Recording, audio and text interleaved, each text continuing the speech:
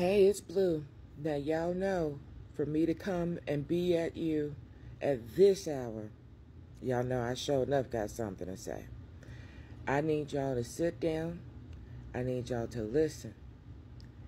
And I need you to follow me. Okay. Shout out to Black Magic 363 and absolutely shout out to Aquarius Maximus because what happened today almost made me fall out the bed. All right, y'all ready? Here we go. I keep telling y'all, shit is changing. Pluto ain't no joke. I keep telling y'all. Y'all have to watch these skies. Y'all have to watch what's going on. I keep telling y'all this. The answers will always come if you tune in. Now, I'm going to take you back and I'm going to bring you here. That's why this is about to be a 10 minute video. If you don't have time for it, listen to it later. But you know it had to be something for me to be in my PJs with my head tied up to come today. We're going to talk about the Royals. Mm-hmm. We're going to talk about the Royals.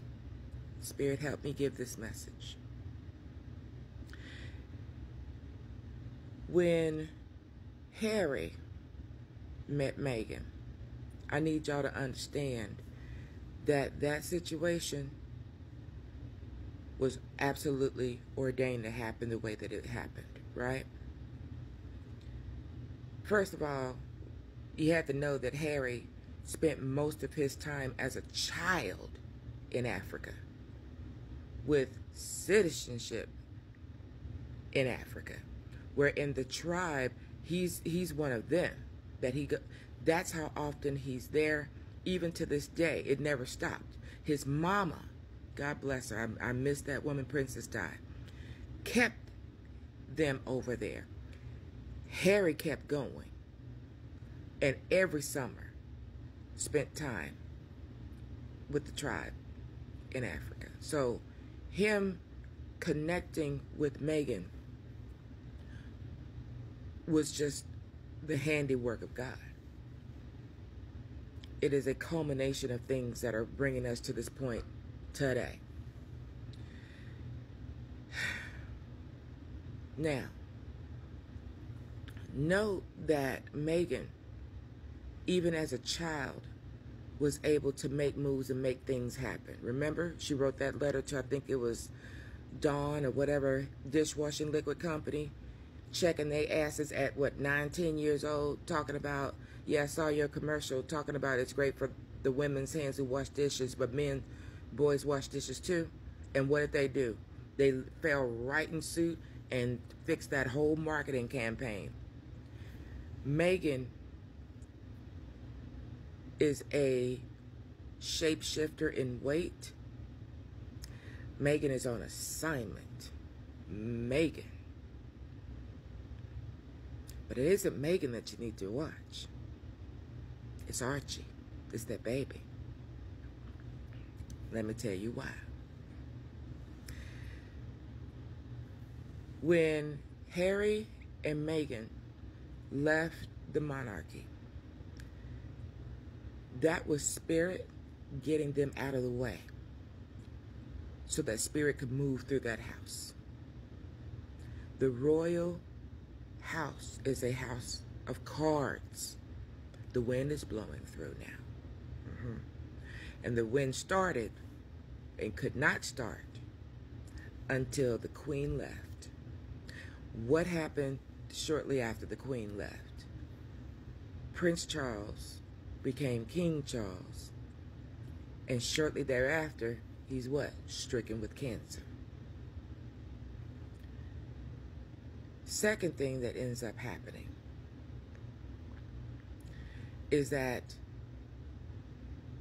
even though Harry still has this royal blood, Charles wasn't giving them money for a security detail, wasn't doing a whole lot of things that he should do as a father to the son.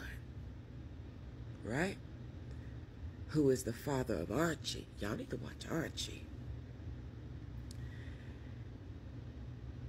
And so God had to move. God will separate you, will get you out of the way so that you don't endure things that are to come or that has to happen or the fixing of things. So then Meghan gets pregnant and, and all this. Who were the two people that had the issue with the baby? King Charles, Princess Kate. Who are the two people that sp- that spoke on the color of that child and concerns about it? Will it be too light, too dark? King Charles, Princess Kate. Do y'all follow me?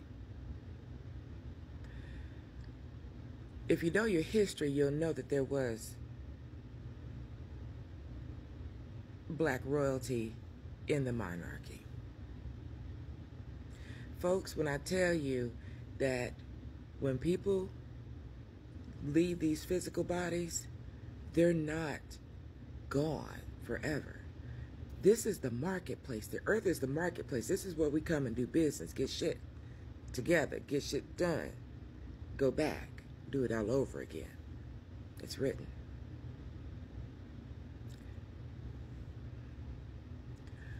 Today, I called when I saw the message about Princess Kate. Mind you, yesterday I was standing in the kitchen and I said, That girl's got cancer.